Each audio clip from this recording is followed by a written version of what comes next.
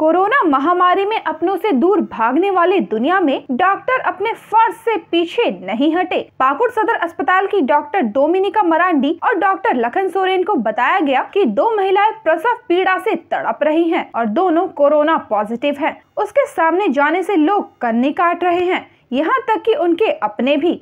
Doctor Dominica और doctor Lakhan Marandi अपनी जान की परवाह किए बगैर आगे बढ़े। उनका साथ देने के लिए सिस्टर इंदु ठाकुर, प्रियंका मुर्मू, उषा पॉलिना हांसदा और मलय मंडल तैयार हो गए। साथ ही सफ़ाई कर्मी अर्जिला बीबी और पार्वती देवी ने भी सहयोग करने की बात कही। प्रसव पीड़ा से छटपटाती महिला की हालत देख सिजेरियन का फैसला लिया। तुरंत सारी तैयारियाँ की गई। ऑपरेशन सक्सेसफुल रहा। दोनों जच्चा और बच्चा स्वस्थ है।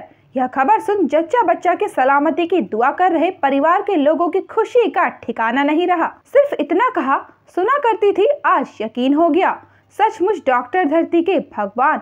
दोनों महिलाएँ पश्चिम बंगाल के फरक्का और धुलियान की रहने वाली हैं। दोनों के परिजनों ने बताया कि पहले बंगाल के एक अस्पताल में भर्ती कराया था, मगर वहाँ मुकम्मल व्यवस्था नहीं होने की बात कहकर इलाज से इनकार कर दिया। आज हमारे सदर अस्पताल पाकुड़ में दो महिलाएँ आई थी जो प्रसव पीड़ा से ग्रसित थी और कोविड पॉजिटिव थी, दोनों ही पेशेंट। जाँच के उपरांत पता चला कि उन्हें इमरजेंसी सिजेरियन की ज़रूरत है।